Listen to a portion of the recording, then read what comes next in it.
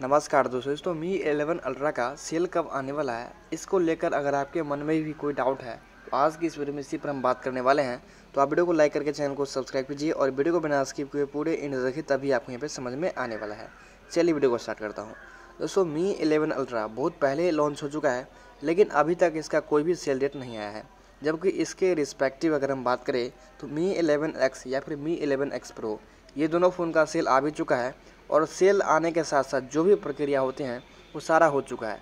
लेकिन मी eleven ultra के साथ सेल डेट क्यों नहीं आया और ये कब आने को मिलेगा, इसके बारे में भी जानेंगे तो आप वीडियो को लाइक ज़रूर कीजिएगा। सबसे पहले अगर दोस्तों बता दूँ तो मी एलेवन अल्ट्रा काफ़ी अच्छा फ़ोन है और ये काफ़ी अच्छा फ़ोन होने के साथ यह एक सुपर फ़ोन माना जाता है। बाकी इसमें जो कैमरा वगैरह है, वो काफ़ी अच्छे लेवल का दिया गया है, ठीक है? स्पेशली यहाँ पर कैमरा को लेकर जाना जाता है मी इलेवन अल्ट्रा। चलिए हम जानते हैं कि इसका सेल डेट क्यों नहीं आया और कब तक ये आपको देखने को मिलेगा। तो सबसे पहले मैं बता देता हूँ, कुछ ऐसे वेरिएंट जिसका अभी तक सेल डेट नहीं देखने को मिला है। जैसे कि मी टेन आई में आपको एक बेस्ट वेरिएंट बताया गया था, जिसमें कंपनी हाइप ये दे रही थी कि अंडर ट्वेंटी के में हमने फाइव जी फ़ोन को लॉन्च किया है। वो फाइव जी फ़ोन है मी टेन आई और ये मी टेन आई का जो बेस्ट वेरियंट था, उसका प्राइजिंग कुछ इसी तरीके से रखा गया था, ठीक है?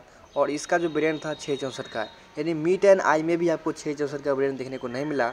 उसके बाद रेडमी नोट टेन प्रो और Redmi note ten pro max दोनों का जो बेस वेरियंट होता है छः चौंसठ को लेकर, ये अभी तक देखने को नहीं मिला है। तो ये तीनों जो सेक्शन या फिर ये तीनों जो फ़ोन है, वह एक तरह से हाइप था। मतलब हाइप ऐसा बनाया जाना कि मैंने इतने कम प्राइसिंग में ये फ़ोन को लॉन्च किया। ये इनका हाइप था और ये वेरियंट अभी तक आपको देखने को नहीं मिला है। और मुझे उम्मीद है कि कभी भी आपको देखने को नहीं मिलेगा, क्योंकि यह कंपनी का हाइप था और इन्होंने ऐसा करना ज़रूरी समझा, इसलिए वो ऐसा किए, ठीक है? उसके बाद हम चले जानते हैं कि मी इलेवन अल्ट्रा के साथ क्या होने वाला है। तो दोस्तों, इसका सेल आएगा, लेकिन अभी कोरोना पैंडमिक को लेकर थोड़ा सा डिले कर दिया गया है। आप यहाँ पे देख पा रहे होगे, इसका जो प्राइसिंग है, वह सत्तर हज़ार रुपये है और इसका सिर्फ़ एक ही वेरियंट आता है twelve G B two fifty six G B का। उसके बाद कोई अन्य वेरियंट नहीं है, लेकिन इसका सेल आने वाला था। लेकिन सेल क्यों नहीं आया? सेल इसलिए नहीं आया क्योंकि कोरोना पैडमिक को लेकर बहुत सारे लोकेशन पर डिलीवरी बंद हो चुका है और कई सारे ऐसे लोकेशन हैं जहाँ पर ऑर्डर हो ही नहीं पा रहा है। तो इसको लेकर मी 11 अल्ट्रा का जो सेल डेट है, वह नहीं लाया गया है। सेल डेट इसका आने ही वाला था। मतलब 15 मई के अंदर में इसका सेल डेट आना था, लेकिन इसका सेल डेट नहीं आया।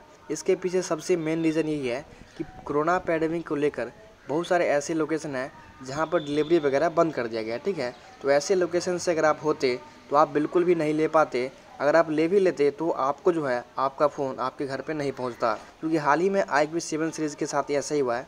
वो फ़ोन प्री ऑर्डर हो चुका है, लेकिन वो फ़ोन अभी तक किसी के पास पहुँचा ही नहीं है। तो ऐसा सिचुएशन ना देखने को मिले, इसलिए मी एलेवन अल्ट्रा का भी सेल डेट नहीं लाया गया है। वैसे कुछ इन्फॉर्मेशन अमेज़न पर ही गिवन है। आप यहाँ पर पढ़ सकते हो। अमेज़न का एप्लीकेशन खोलने के बाद नीचे स्क्रॉल कीजिएगा तो आपको यहाँ पर देखने को मिलेगा update on deliveries and more ठीक है? तो ये सेक्शन जो है, वह स्पेशल कोविड नाइन्टीन को लेकर या फिर डिलीवरी जो डिले हो रहा है, इसको लेकर है।